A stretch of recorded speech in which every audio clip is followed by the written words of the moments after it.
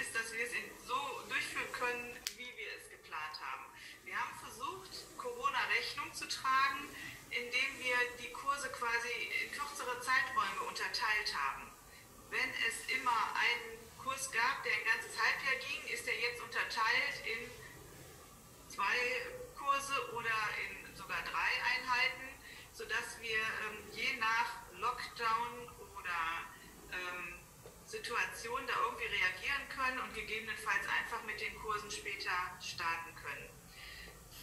Tatsächlich sind die Rückmeldungen von Land, Stadt oder Gesundheitsamt immer sehr kurzfristig, sodass wir da ähm, ja, immer relativ schnell und viel zu tun haben.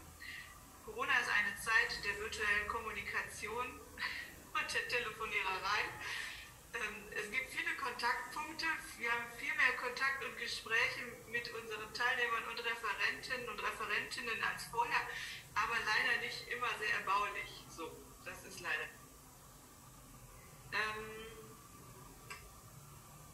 wir versuchen, ja, der Situation Rechnung zu tragen, indem wir eben die Kursdauer ein bisschen angepasst haben. Wir versuchen Rechnung zu tragen, indem wir unsere Referenten und Referentinnen schulen, online zu gehen. Und wir versuchen auch die Teilnehmenden abzuholen und mit Zoom vertraut zu machen und auch mit online zu nehmen und haben dazu verschiedene Formate uns überlegt. Also es gibt ab Januar einen richtigen Kurs Zoom Lernen für Teilnehmende, das ähnlich wie ähm, Smartphone-Kurse, die wir bisher angeboten haben.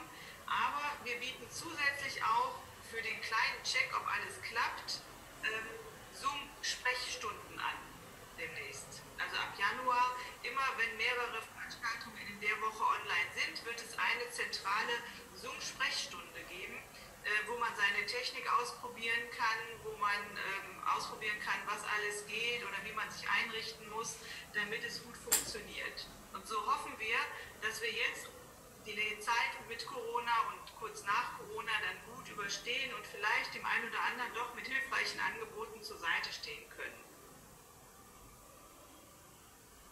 Frau Klein, hören Sie uns jetzt? Ja, ja, alles klar. Herr Rittel, sind Sie mit dabei? Also Sie telefonieren nur mit Herrn Anton. Okay. gut. Also ich hatte jetzt meine, nee, das heißt, meine persönliche Sprechstunde hatte ich noch nicht. Ich weiß immer noch nicht, warum ich nichts gehört habe. Manchmal sind es so profane Dinge wie das Betriebssystem auf dem Rechner oder so, warum das ja. Okay. Aha. Ne, genau. Ähm, also, wir arbeiten auch daran und ähm, möchten gerne, dass möglichst viele Menschen die Vorteile von Online-Angeboten kennenlernen und gleichzeitig sich da aber auch wohl und sicher fühlen und dass da eben schöne Sachen passieren können.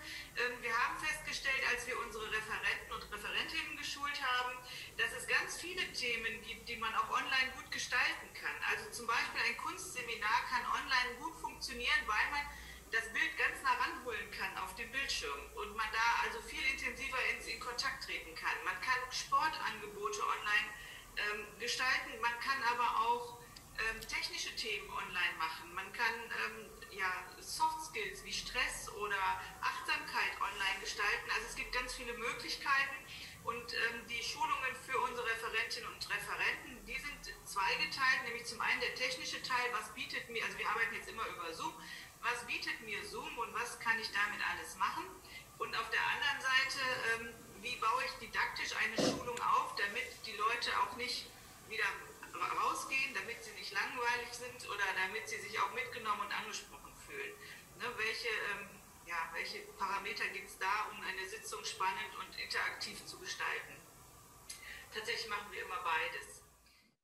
Nach der kurzen Einführung in unsere Corona-Adaption würde ich schon direkt ähm, weitergeben an meine Kollegen, die Ihnen jetzt so ein paar Inhalte ähm, vorstellen. Wir haben das neue Programm. Ich habe Ihnen, ähm, also den Link stellen wir gleich noch in den Chat. Es ist auf unserer Homepage schon einzusehen. Wenn Sie auf die Homepage klicken, müssen Sie manchmal ähm, noch dieses Aktualisieren-Zeichen machen, weil sonst das alte Heft noch erscheint im ersten Moment. Ja, das ist dann im Cache immer noch drin. Aber unser neues Heft mit dem Regenbogen, ganz typisch. Ähm, ja, ein schönes verbindendes Bild zur Situation und vielleicht ein bisschen Hoffnung. Genau. Also ich würde jetzt für die Inhalte erstmal weitergeben an den Herrn Anton. Der ist zuständig für Glaube sind Werte und das ist der erste Bereich in unserem Programm und deshalb fängt er an. Herr Anton, bitte.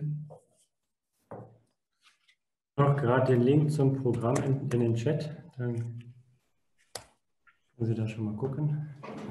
Dürfte ich vielleicht kurz, äh, bevor, Herr Anton, bevor Sie anfangen, noch ein, zwei Nachfragen stellen zu der, ähm, ja, zu der zur Vorgehensweise? Ist das okay an die Frau Höring? Ja, Bitte.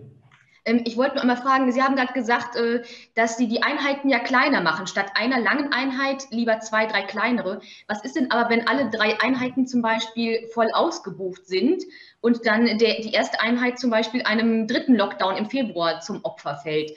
Die, die Einheit fällt dann quasi ersatzlos weg. Sehe ich das richtig? Genau, also wenn, so, wenn, also die erste Einheit geht jetzt meinetwegen Januar, Februar und wenn jetzt der Lockdown fortgeführt wird bis Februar, dann würde die einfach wegfallen und man steigt dann im Februar ein. Genau. Aber damit ist man so ein bisschen flexibler, als wenn man jedes Mal ganz neu wieder anfängt und sagt, wir sagen alles ab, wir planen neu, wir fangen wieder an. Und so ist es für die Referentinnen und Referentinnen hoffentlich ein bisschen planbarer und für uns auch.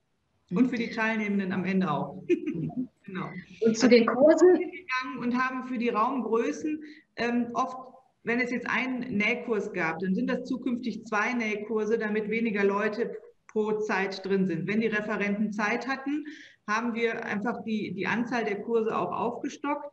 Wenn die Referentinnen ähm, keine Zeit hatten, dann haben wir es manchmal so gemacht, dass alle 14 Tage Kurs stattfindet. Einfach damit die Sicherheit gewährleistet ist, damit alle, ähm, die, die nähen und kochen und ähm, bewegen wollen, das auch können und damit wir irgendwie so alle Bedürfnisse unter einen Hut bekommen. Ja. Mhm.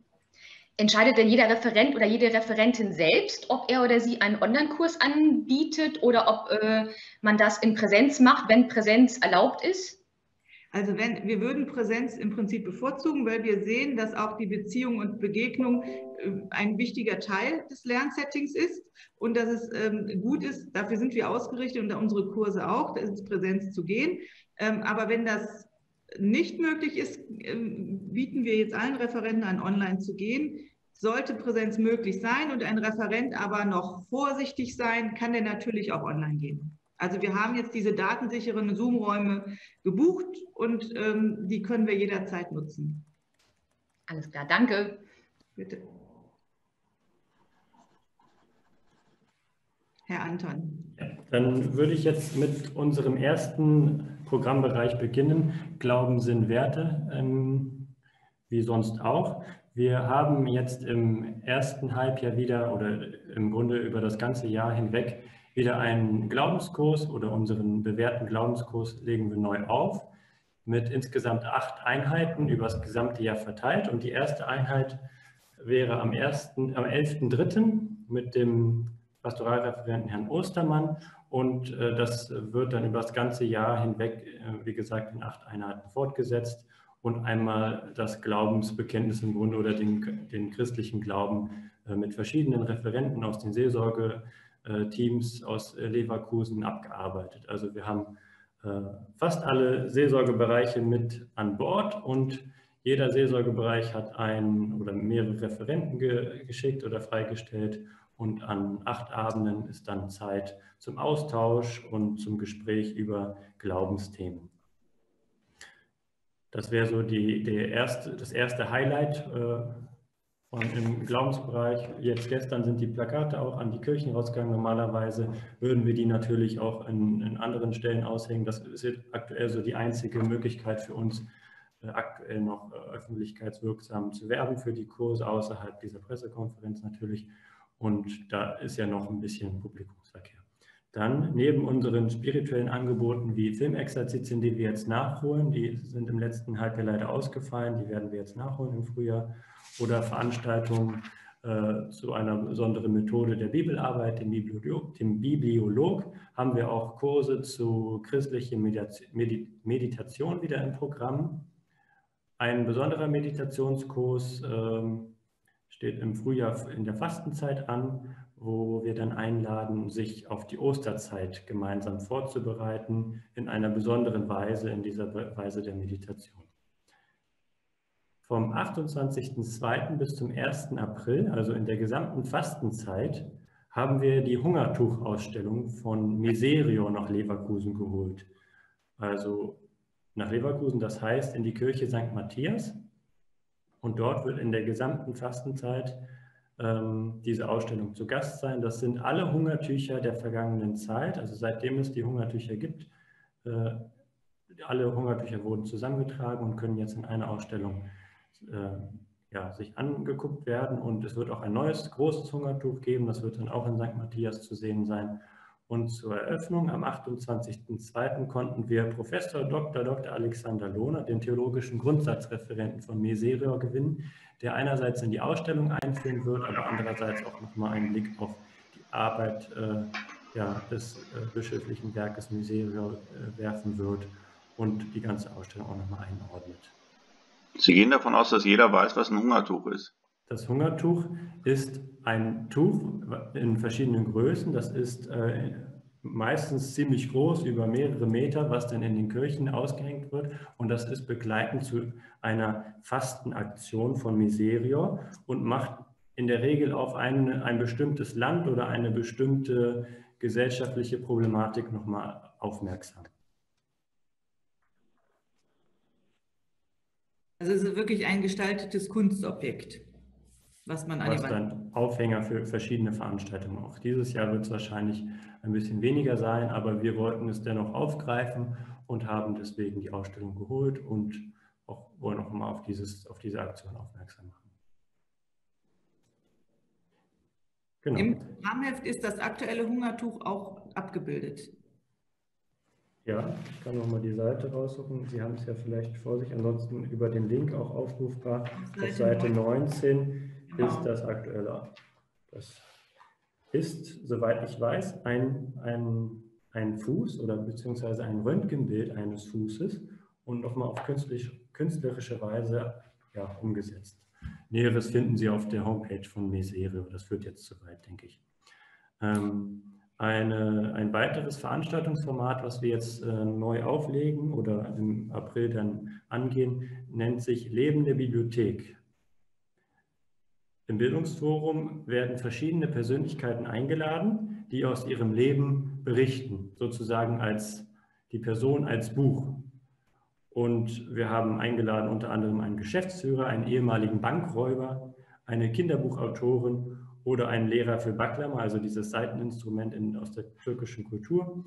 Und sie schlagen alle ihre, die Seiten ihres Lebensbuches auf und berichten einfach mal. Also wie eine Lesung, eben nur, dass nicht das Buch als, als Werk im Mittelpunkt steht, sondern die Person. Ich als ehemalige Bankkauffrau bin natürlich besonders interessiert an dem Bankräuber. Ja. genau. Wenn jetzt zu dem Bereich, wir haben noch weitere schöne Angebote im Bereich Glauben sind wert, aber das waren jetzt so einige Highlights daraus. Wenn da jetzt keine Nachfragen zu sind, würde ich zum nächsten Bereich übergehen, Ehe und Partnerschaft. Aber ich gucke in die Runde, dann kann ich fortfahren. Genau. Also Ehe und Partnerschaft bietet äh, in der Regel im ersten Halbjahr immer mehr, weil dort die Ehevorbereitungskurse klassischerweise angesiedelt sind, weil die Paare sich dann im ersten Halbjahr quasi vorbereiten und dann im Sommer dann äh, die Trauung ansteht. Durch Corona sind im letzten oder in diesem Jahr natürlich der überwiegende Teil der Hochzeiten und Trauungen ausgefallen und dementsprechend oder auch die Vorbereitungskurse konnten nicht stattfinden. Und wir wollen jetzt den Paaren ermöglichen, dass sie, viele wollen das ja auch nachholen nächstes Jahr oder hoffen, es nachholen zu können. Und wir wollen sie dabei so ein bisschen unterstützen und haben noch einmal äh, mehr Vorbereitungskurse mit ins Programm genommen. Unsere klassischen Vorbereitungskurse, die in analoger Weise fortgeführt werden, sind natürlich im Programm, die in, also es sind drei an der Zahl, die in großen Fahrsälen stattfinden, sodass auch dort, sofern wir keinen harten Lockdown dann haben, äh, die Durchführung gewährleistet ist. Also man kann den Abstand einhalten mit bewährten Ehevorbereitungskursreferenten, dem, zum Beispiel dem Ehe, Ehepaar Schellenberg, Diakon Schellenberg ist dabei aber zum ersten Mal wollen wir auch den Versuch wagen, einen digitalen Ehevorbereitungskurs durchzuführen. Äh, Kollegen aus, andere, aus, einem anderen Standort des Bildungswerks haben in diesem Jahr schon sehr gute Erfahrungen damit gemacht und wir wollen darauf gerne aufbauen, sodass wir, ähm, ich teile auch mal kurz den Bildschirm, dann kann man sich das vielleicht besser Genau. Der Diakon Thomas Wenz, Sie sehen das jetzt alles, den geteilten Bildschirm. Der Diakon Thomas Wenz hat zusammen mit uns äh, ein Format entwickelt zum digitalen Ehevorbereitungskurs und der erste Termin ist der 19. Februar. Insgesamt fünf Freitage treffen sich die Paare und bereiten sich digital vor. Sie bekommen im Vorfeld Materialien zugeschickt, mit denen sie dann in den Sitzungen gemeinsam arbeiten. Die Einheiten bauen aufeinander auf und es, es ähnelt dem klassischen analogen Ehevorbereitungskurs, aber eben auf eine digitale Art und Weise, um vielleicht auch nochmal andere Zielgruppen anzusprechen, äh, die, äh, oder, oder Paare anzusprechen, die äh, vielleicht noch der Freitagabend ein besserer Termin ist, die sich nicht auf den Weg machen wollen in den Phasen, sondern auch von zu Hause, um das in den Alltag besser einzubauen. Also wir haben beides im Programm. Dann haben wir auch wieder zum Valentinstag einen Paarkochkurs geplant. Das ist ja klassischerweise jedes Jahr im Nachgang von, vom Valentinstag ein Paarkochkurs. Wir werden sehen, ob es die Lage dann zulässt, aber wir haben es erstmal geplant. Und wie ich finde, ein ganz schönes Angebot jetzt im April nächsten Jahres zum ersten Mal ein Online-Kommunikationstraining für Paare an zwei, ins, innerhalb von zwei Wochen. Also es beginnt mit, einem, mit einer Freitagabendeinheit, dann direkt der Samstag nach und die Woche danach auch wieder ein Freitag und ein Samstag, machen die Paare sich auf den Weg, um gemeinsam an ihrer Paarkommunikation zu arbeiten. Wir haben dafür zwei kompetente Referentinnen gewonnen aus der Ehefamilien- und Lebensberatung aus zwei Stellen. Einmal die Frau Margret Röhnspies-Derres, die ist die Leitung einer Ehefamilien- und Lebensberatungsstelle und die Frau Rockstroh ist aktuell in Elternzeit, aber leitet auch eine Stelle und die beiden im Tandem treten auf und begleiten diese Paare. Es ist begrenzt auf vier Paare, weil es besonders auf diese Gruppendynamik auch äh, ankommt. Wie gehen die Paare einerseits mit sich selber um, aber was kann man vielleicht auch von anderen Paaren lernen und wie können vielleicht Meinungsverschiedenheiten konstruktiv geklärt werden und vor allem, wie kann die Liebe wachsen? Das ist so die Überschrift zu diesen Kursen.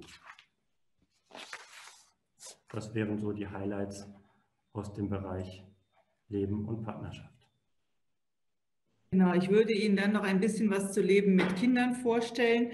Ähm, also wir finden, dass die Eltern in den letzten Monaten sehr viel geleistet haben. Sie haben ihre Kinderbetreuung, Homeschooling, ihren äh, Homeoffice und alles gleichzeitig bewältigt, Haushalt auch noch nebenbei. Und deshalb möchten wir Ihnen ein paar ähm, schöne Dinge mit an die Hand geben. Also zum einen haben wir eine Referentin gefunden, die Tipps und Tricks gibt für äh, die verbleibende Corona-Zeit, wie man sich gut einrichtet, wenn man zu Hause arbeitet, wie man Homeoffice, Kinderbetreuung und alles unter einen Hut bekommen kann.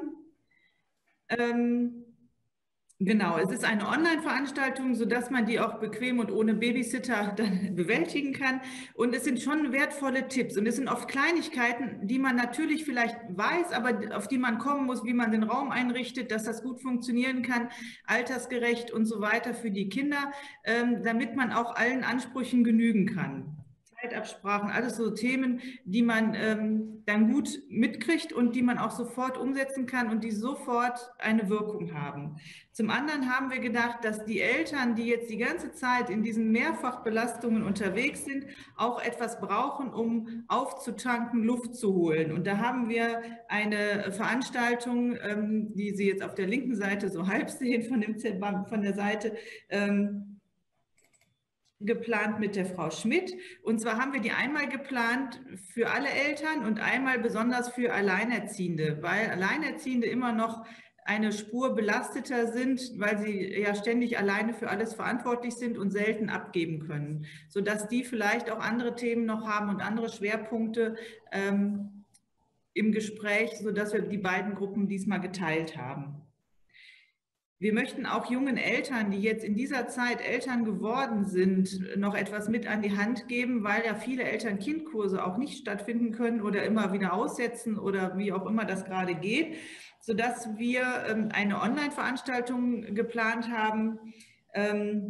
Willkommen kleiner Mensch, die ersten Monate nach der Pädagogik von Emmy Pickler. Das ist eben auch sehr hilfreich und sehr entlastend für die Eltern und deshalb wichtig, dass man sich da vielleicht mit auseinandersetzt oder dass man es zumindest mal gehört hat. Und wenn es nicht im Präsent geht, dann machen wir es halt online. Und deshalb bieten wir da drei Elternabende zu den drei Schwerpunktthemen an, die Pickler bietet, äh, mit einer bekannten Referentin, mit der Frau Gurk, die hier bei uns auch schon viel in Eltern-Kind-Kursen unterwegs ist. Also alle drei Themen und Angebote sind sehr zu empfehlen für die Eltern, die jetzt besonders in dieser Corona-Krise zu leisten haben. Genau, außerdem möchten wir mit dem neuen Jahr auch verstärkt in Eltern-Kind-Kurse wieder einsteigen und haben Montags-, Donnerstags- und Freitagskurse geplant, sobald das wieder in Präsenz möglich ist, natürlich sehr gerne in Präsenz, um den Eltern auch wieder Kontaktmöglichkeiten, Austausch und ähm, so ein bisschen Input mitgeben zu können. Wir haben noch ganz, ganz viele andere Sachen im Bereich Leben mit Kindern geplant. Gucken Sie mal ins Programm. Es gibt viele, viele schöne Sachen. Ich wollte jetzt bewusst den Akzent nur auf diese Punkte setzen, damit die eben sich besonders absetzen. Aber Sie finden zu vielen anderen Sachen eben auch noch Themen im Heft. Genau. Ich würde, wenn, haben Sie Fragen dazu? Nein. Alles selbst erklärt. Kommen Sie ruhig vorbei und gucken Sie sich das an. Dann würde ich weitergeben an die Frau Böhm zum Bereich Gesellschaft. Da gibt es auch viele schöne Sachen. Genau, dann mache ich weiter und ähm, ich nehme Sie mit in eine Veranstaltung, die wir jetzt zum dritten Mal leider auflegen müssen. Und zwar ähm, ist das aus unserer Reihe Frauen gestalten ihre Stadt, die Reihe, die das Bildungsforum zusammen mit dem Frauenbüro der Stadt Leverkusen und auch dem Frauenring hier in der Stadt äh, gestaltet. Und wir hatten eine Jubiläumsveranstaltung letztes Jahr schon geplant äh, zu unserem Fünfjährigen mit der ähm, TV-Moderatorin Claudia Kleinert. Das Thema ist unschlagbar erfolgreich. Ähm, da haben wir uns sozusagen eine richtig gute Referentin mal gegönnt. Bis jetzt hat es nicht geklappt, aber wir hoffen natürlich, dass es im nächsten Jahr klappt. Am 4.6 soll der Spiegelsaal im Schloss Morsbroich sich füllen, hoffentlich mit wenigstens einigen Menschen, die dann kommen dürfen. Und äh, ja, wir denken, dass Claudia Kleinert in ihrer ähm, ja, äh, bewährten ähm, Art, äh, auch witzig, witzigen Art, dann uns äh, zum Thema Kommunikation, erfolgreiche Kommunikation, wie kann ich das charmant und witzig alles erledigen, äh, dann mitnehmen wird. Und das ein hoffentlich schöner ähm, ja, Jubiläumsabend wird. Dann äh, haben wir zusätzlich noch eine weitere Veranstaltung geplant in dieser Reihe Frauen gestalten ihre Stadt und äh, zwar am 2.3. Das ist der Internationale Frauentag. Und wir haben uns vorgenommen, das Thema Sorgearbeit, und zwar genau genommen die, ähm, die Ungleichverteilung von Sorgearbeit in unserer Gesellschaft und wir haben dazu eingeladen den Mitbegründer des Netzwerkes Equal Care Day. Das ist Herr Sascha Verlin, der eben mit einigen anderen diese Initiative gegründet hat, ähm, der davon ausgeht, dass es eine Ungleichverteilung von Sorgearbeit in den Familien, in unserer Gesellschaft gibt und dass die Frauen und Mädchen da belasteter sind als die Jungen und die Männer und dass daraus eben auch vieles an Ungleichheit weiter besteht in den unterschiedlichen Lebensentwürfen.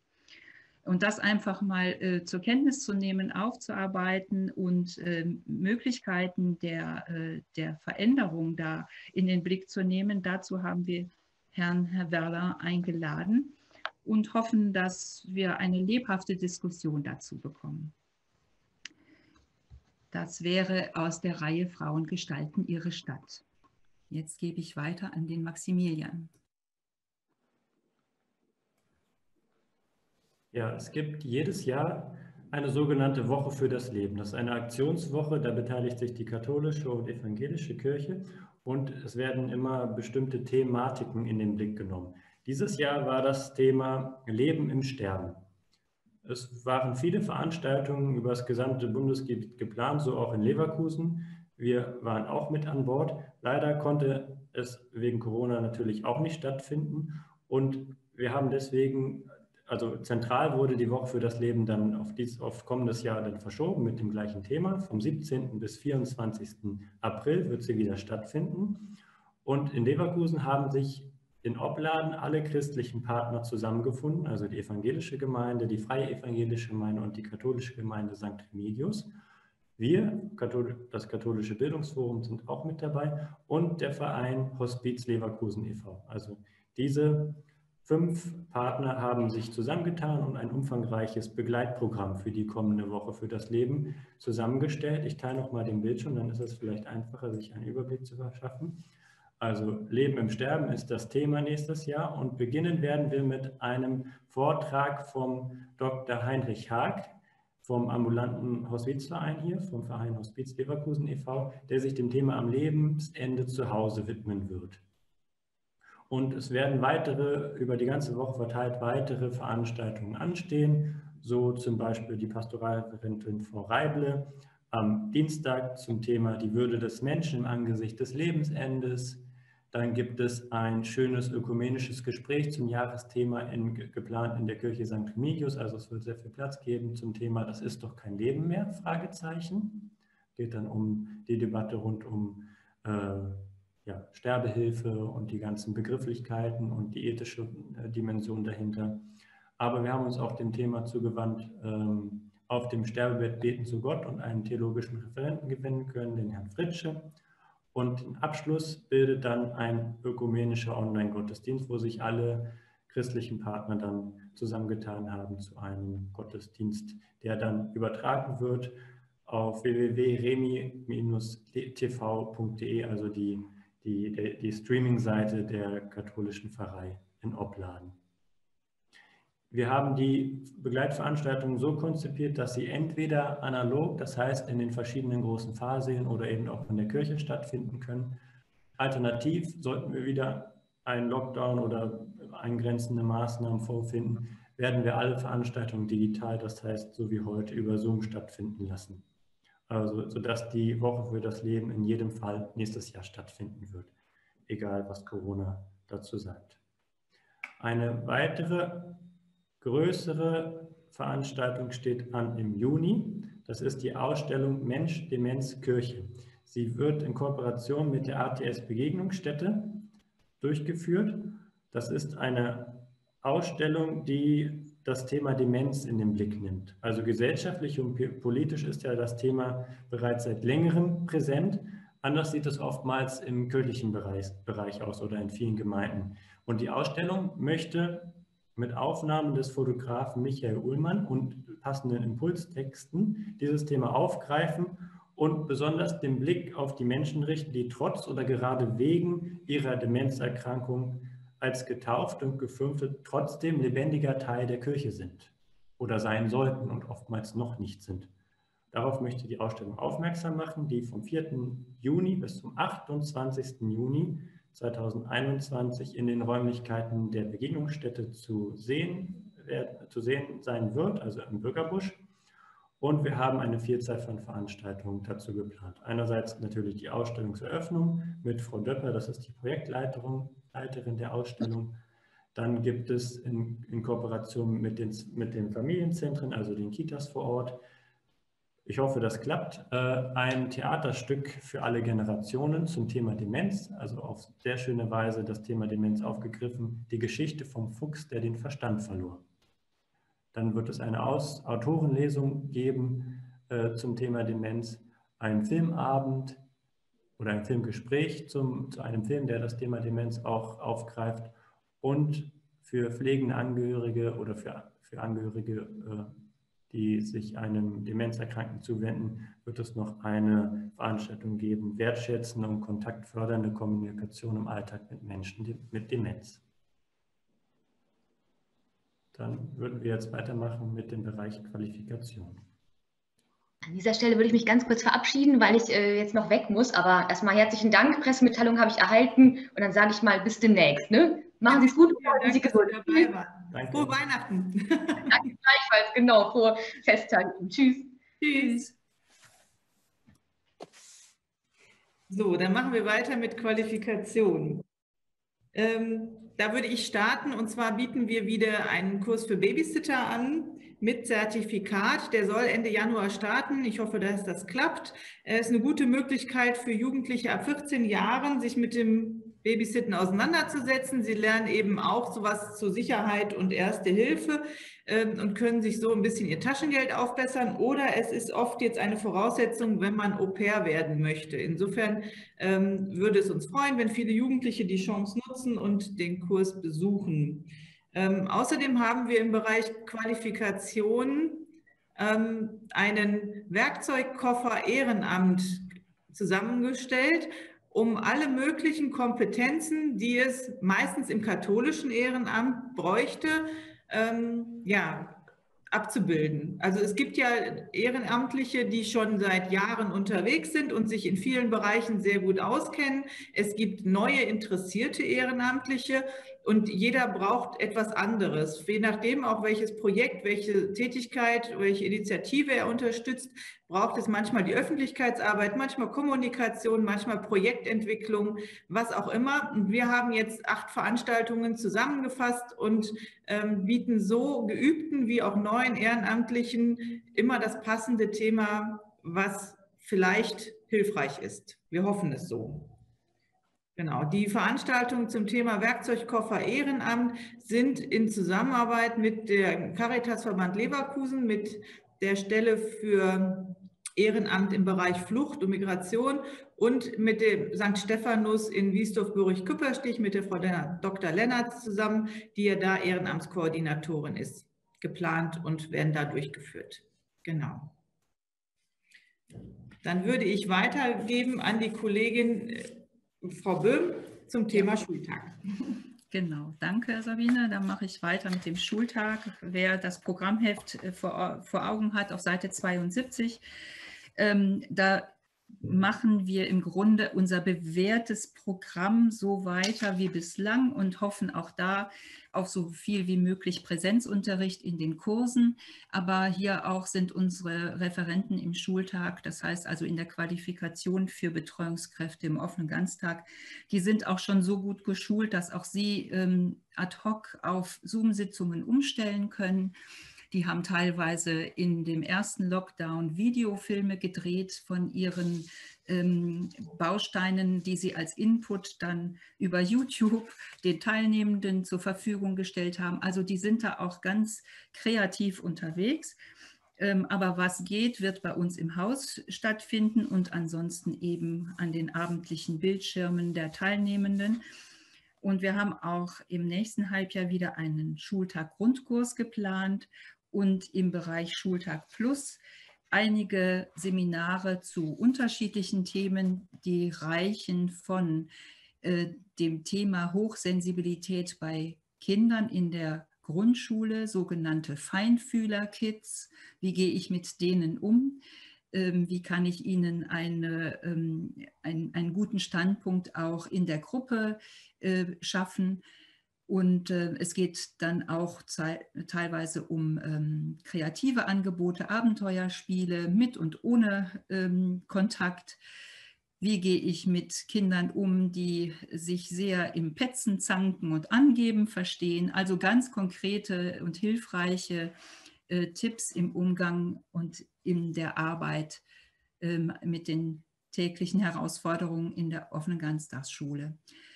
Ähm, dann haben wir noch ein Seminar aufgelegt, das sich speziell an die Gruppenleitungen ähm, richtet, die da auch nochmal eine besondere Herausforderung haben und, ähm, ja, und werden da auch gerade im Bereich Kommunikation denen noch hilfreiche Tipps geben können mit unseren Referenten.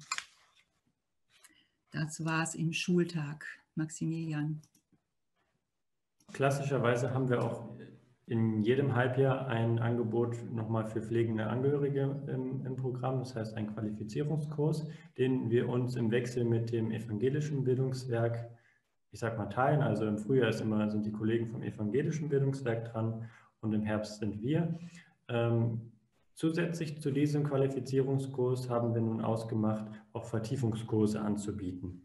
Das evangelische Bildungswerk wird beispielsweise einen Vertiefungskurs zum, zum Krankheits- und Behinderungsbildern anbieten und einen Kurs oder eine Veranstaltung Trauererfahrung und Umgang mit Trauernden. Und wir werden äh, einen Praxisworkshop für Pflegenangehörige anbieten zum Thema Tipps und Tricks für den Pflegealltag. Also ganz konkret, ähm, wie gehe ich mit einem Rollator um oder mit einem Rollstuhl, wie kann ich lagern oder die Treppenstufen mit meinem Angehörigen überwinden. Alle solche Fragen werden am 16. Juni mit der Frau Schmidt-Kötting vom Caritasverband und mit verschiedenen Hilfsmitteln, die wir dann hier im Haus haben werden, ähm, ja, angegangen. Dann mache ich weiter im Bereich persönliche Entwicklung. In Zeiten von Kontaktbeschränkungen ist das Thema Einsamkeit auch nochmal besonders in den Fokus gerückt. Äh, viele Menschen sind einsam und wir haben am 16.03. Äh, hierzu ein Seminar aufgelegt mit der Referentin Friederike Heppner-Ramm. Sie fragt Einsamkeit ein Tabuthema. Ähm, und es geht einfach darum, Strategien und Tipps für den Umgang mit Einsamkeit hier zu erarbeiten mit den Teilnehmenden. Ich warte mal gerade bis, äh, genau, ach, da ist es zu sehen. Ähm, ja, und auch die Festigung der emotionalen Widerstandsfähigkeit ist natürlich auch ähm, etwas, was hilfreich sein kann in dieser Zeit. Also das Schlagwort ist hier Resilienz und wir haben oder auch Achtsamkeit und Widerstandsfähigkeit. Wir haben hierzu einige Seminare aufgelegt im Bereich persönliche Entwicklung ähm, und aber auch äh, sich etwas Gutes selbst tun zu können, ist eben auch hilfreich in dieser Zeit, sich selber auch mal in den Blick zu nehmen äh, und zu schauen, was tut mir gut in dieser Zeit. Also all diese, diese Fragen ähm, rund um die Persönlichkeit wollen wir aufgreifen oder haben wir aufgegriffen in verschiedenen Seminaren, die teilweise an einem Ganztagsseminar sind, zum Beispiel an einem Samstag oder auch durch die Woche an Abenden stattfinden, mal mit einem, mal mit mehreren Terminen. Das sind ähm, verschiedene Angebote, die Sie hier finden. Dann haben wir im Bereich Lebenswenden eine gute Kooperation mit dem Hospiz Leverkusen e.V., auch hier, äh, wenn es zum Beispiel um das Thema Trauer geht. Da haben wir gleich mehrere Angebote, die sich sehr bewährt haben, die wir auch weiterführen werden. Das ist einmal die Trauertankstelle im Haus bei uns im Katholischen Bildungsforum. Die findet jede Woche dienstags um 11 Uhr statt und richtet sich an Menschen, die vielleicht gerade vom Friedhof an der Mannforter Straße kommen oder auch sonst von, ähm, von weiter weg auch kommen ähm, und äh, sich hier mit Mitarbeiterinnen aus dem Hospiz Leverkusen e.V. austauschen und auch mit den anderen, die dort sich einfinden. Eine sehr, ein sehr niederschwelliges Angebot. Hierzu muss man sich nicht anmelden, man kann einfach ins Haus kommen und äh, sich austauschen in der Trauerphase, in der man vielleicht gerade steckt. Ein ähnliches Angebot ist der Treff bei Zettel. Das findet im Kulturcafé Zettels Traum in Opladen statt, jeden zweiten Dienstag im Monat. Und auch hier ist ähnlich der äh, niederschwellige Ansatz, ähm, sich mit den anderen auszutauschen, aber immer auch die Kompetenz der Mitarbeitenden vom Hospiz Leverkusen in Anspruch nehmen zu können. Hier sind wir auch im engen Kontakt dann äh, mit den Mitarbeiterinnen hier vom Hospiz. Ein drittes Angebot, was sich sehr bewährt hat, ist ein Gesprächskreis bei uns im Haus. Äh, Mitten im Leben heißt der, der sich ähm, an äh, Männer und Frauen äh, in, ja, richtet, die sich selbst ihres Standortes im Leben nochmal bewusst werden wollen und vielleicht nochmal schauen wollen, was ähm, möchte ich noch in meinem Leben gestalten, wie möchte, soll mein Leben weitergehen. Und ähm, ja, da kommt es natürlich auch zu ganz unterschiedlichen Fragestellungen äh, und hoffentlich guten Antworten, die man miteinander dann findet. Neu in dem Kanon ähm, in Sachen Kooperation mit dem Hospiz Leverkusen ist die Trauergruppe für Erwachsene. Das, hierzu wird es einen kostenlosen Informationsabend am 10. Februar geben um 18.30 Uhr. Der richtet sich speziell an Menschen, die eben gerade liebe Menschen verloren haben und sich einer Trauergruppe anschließen wollen. das Ganze wird dann auch im Haus stattfinden oder wenn es noch nicht geht, über eine Zoom-Sitzung. Dann würde ich direkt weitergehen in den nächsten Bereich, wenn Sie keine Fragen haben. Das ist nicht der Fall. Dann mache ich weiter mit dem Bereich Kultur. Wir haben jetzt in regelmäßigen Abständen im Haus, im Katholischen Bildungsforum, Ausstellungen im Haus und so auch im nächsten Frühjahr. Das heißt also, wir werden auf jeden Fall diese Ausstellung im Haus haben, hoffen natürlich, dass wir dann auch wieder Besucher empfangen können. Wir haben die Ausstellung Wunder der Natur im Haus ab dem 5. Februar. Und es handelt sich hier um eine Ausstellung des Team Aquarell. So nennen sich ähm, eine Gruppe von Teilnehmerinnen des Kurses Landschafts- und Naturmalerei, die stattfindet äh, im Katholischen Bildungsforum.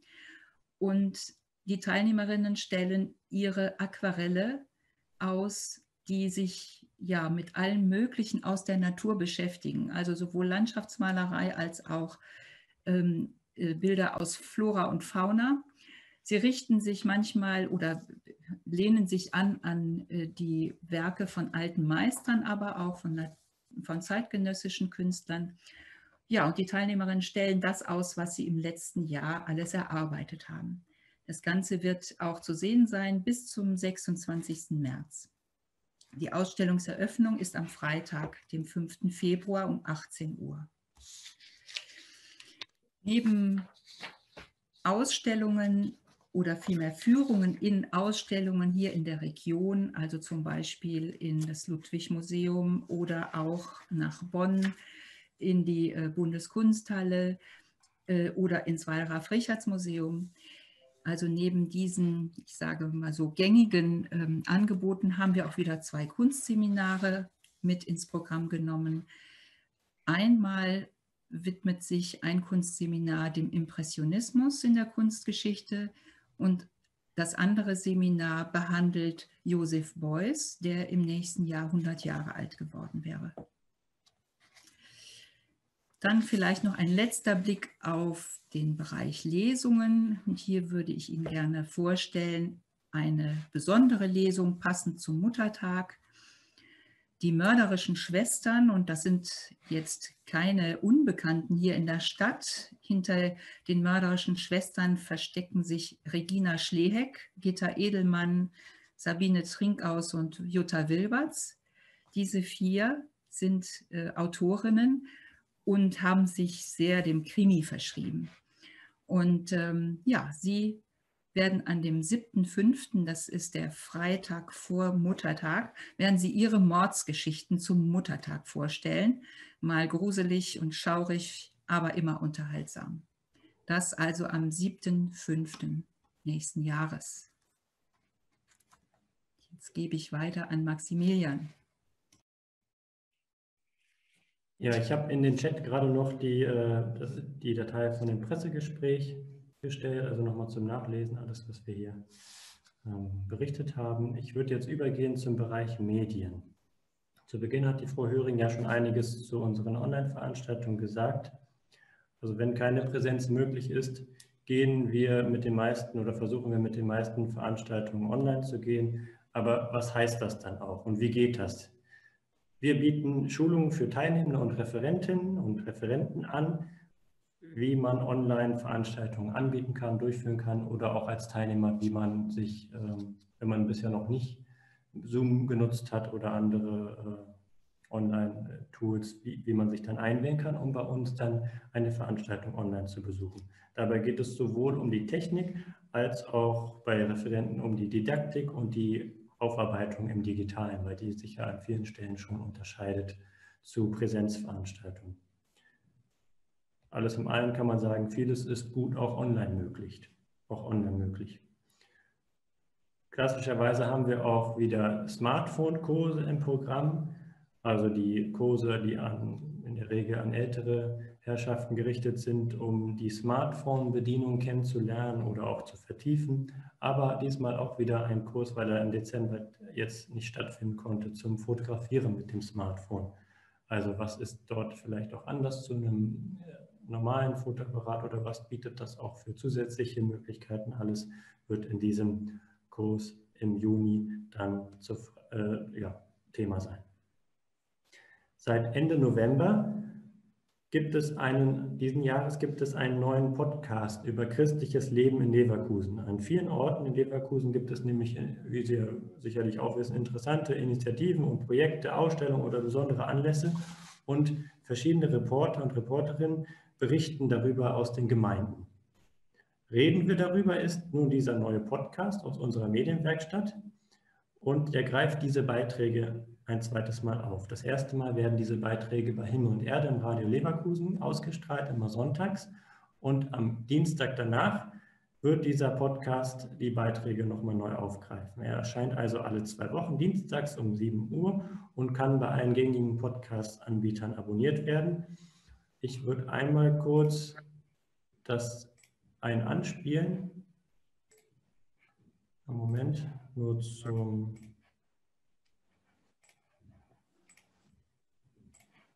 Auf unserer Homepage finden Sie ihn direkt als zweite Kachel, also hier Podcast reden wir darüber. Und wir können ja mal einmal kurz in einen reinhören. Also das sind alle bisherigen gelaufenen Beiträge zu Erstkommunion und Corona, die Seelsorgebereichsforen, aber auch die Engelausstellung, die wir kürzlich hatten. Ähm, wir hören mal rein in einen Beitrag.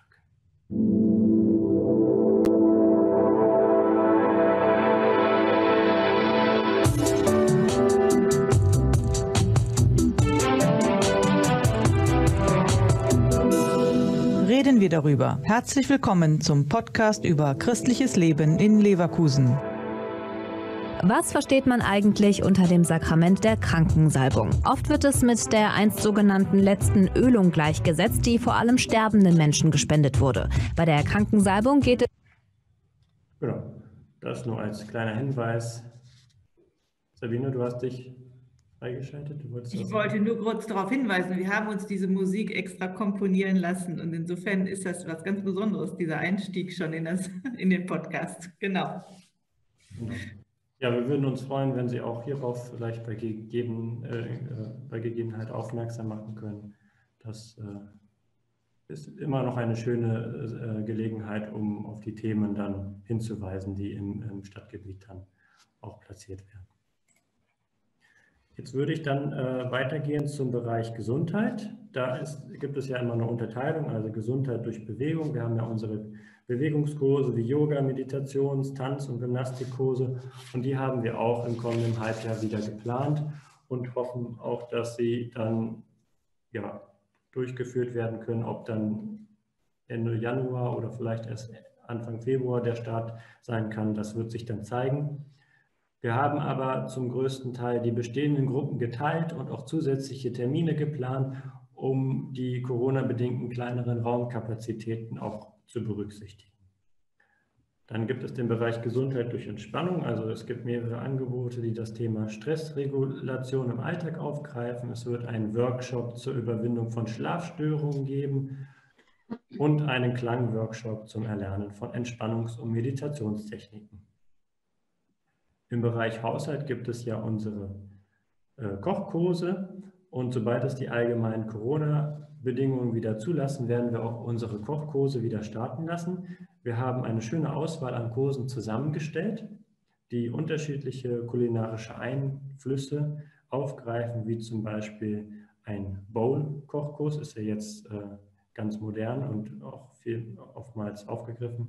Oder auch Kurse zur indischen und mediterranen Küche und zum ersten Mal auch einen Kochkurs zur veganen Küche. In Abstimmung mit dem Gesundheitsamt äh, passen wir stetig unser Hygienekonzept für die Küche und für die äh, Lehrküche an, an die, äh, eben die aktuellen Voraussetzungen. Auch die Kochkurse gehen zum Teil online und werden damit unabhängig vom Corona-Geschehen durchgeführt, vereinzelt, zum Beispiel ein Meal Prep Kochkurs. Also dort wird erklärt, wie man mit einer guten Planung leckere Gerichte für den Alltag der Woche vorbereiten kann. Also wenn ich mich sonntags oder samstags in die Küche stelle und mal überlege, was möchte ich Mittwoch, am Mittwoch, Donnerstag, Freitag vielleicht mit äh, ins Büro nehmen, kann aber nicht ähm, am, unter der Woche das vorbereiten. Dann mache ich das am Samstag und am Sonntag. Und dafür ist eine gute Planung notwendig und unsere Referentin Frau Rademacher wird den Teilnehmern einmal die, die wichtigsten Dinge, die zu wissen sind, nahebringen. Unsere Strick- und Nähkurse können auch im kommenden Halbjahr fortgeführt werden. Zum Teil werden auch diese in äh, verschiedene Gruppen aufgeteilt. Da haben wir auch äh, Überlegungen angestellt, wie das unter Corona-Bedingungen möglich ist. Wir haben jetzt Erfahrungen gesammelt im letzten Halbjahr, sodass, wenn es möglich ist, wir es auch durchführen werden. Genau. Ich würde unsere Programmvorstellung gerne beenden, noch mit dem Thema Sprachkurse. Wir werden weiterhin Sprachkurse für neue Nachbarn, Geflüchtete und Menschen mit Migrationshintergrund anbieten, sowohl im niederschwelligen Bereich, also ohne besondere Voraussetzungen, als auch im Januar, Mitte Januar ein neuer Integrationskurs nach den BAMF-Richtlinien startet äh, mit Kinderbetreuung. Das ist ähm, besonders, weil ähm, es davon nur zwei Anbieter in Leverkusen gibt. Insofern machen Sie gerne auch Werbung für den Integrationskurs mit Kinderbetreuung und Alphabetisierung ab Mitte Januar hier bei uns im Haus. Insgesamt haben wir jetzt Veranstaltungen geplant im Umfang von 4.900 Unterrichtsstunden und 381 Veranstaltungen. Das heißt, dass wir im Prinzip das Level der letzten Jahre halten, nur unter Corona-Bedingungen mit mehr Platz pro Person. Also mehr Unterrichtsstunden sind dann nicht unbedingt mehr Angebote und mehr Veranstaltungen sind eben auch nicht mehr Angebote, sondern das ist das Level, was wir in den letzten Jahren auch hatten. Ähm, und hoffen wir, dass möglichst viel davon tatsächlich an den Mann kommt oder an die Frau und es nicht alles ähm, irgendwelchen Lockdowns und ähm, Einschränkungen zum Opfer fällt. Denn ich glaube, dass es den Leuten gut tut, wieder sich zu treffen und auch äh, gut tut, ähm, die Inhalte mitzunehmen, die wir hier versucht haben, gewissenhaft zusammenzutragen. Ähm, ich finde, wir haben ein sehr schönes und sehr breites Programm. Die Highlights haben wir uns noch ein bisschen fürs zweite Halbjahr aufgehoben, wenn wir wissen, dass es wieder alles funktioniert. Ähm, sollte sich da spontan noch was ergeben, jetzt mit den Online-Formaten und so gibt es manchmal kurzfristig noch gute Referenten, die man dann online dazuschalten kann, würden wir uns separat in Pressemitteilungen nochmal bei Ihnen melden. Ansonsten hoffen wir, dass Ihnen das neue Programm so gut gefällt, wie es uns gefällt und dass es äh, für Sie ein leichtes ist, darüber zu schreiben. Vielen Dank, dass Sie da waren. Okay. Dürfen wir noch Fragen stellen? Dürfen Sie. Sie haben jetzt die äh, Darf ich mich schon mal verabschieden? Ich habe gleich das nächste Gespräch, damit ich. Ja? Vielen Dank, Frau Klein. Bis Frau Klein. Alles Gute. Tschüss. Tschüss. Sie haben gesagt, wie viele Stunden Sie nächstes Jahr machen. Wie viele Stunden sind denn letztes Jahr wegen Corona ausgefallen oder wie viele Kurse? Das kann man aktuell noch nicht sagen, weil jetzt erst die Rückläufe der Unterlagen sind und das jetzt in der Abrechnung ist. Also die, diese und nächste Woche sind wir nur am Abrechnen und erst dann sind die Statistiken aussagekräftig. Ähm, es lässt sich noch nicht mal ein Trend ablesen. Also ich sage mal sicher, die Hälfte ist, ist, hat nicht stattgefunden, aber ein Teil davon ist dann wieder online gegangen.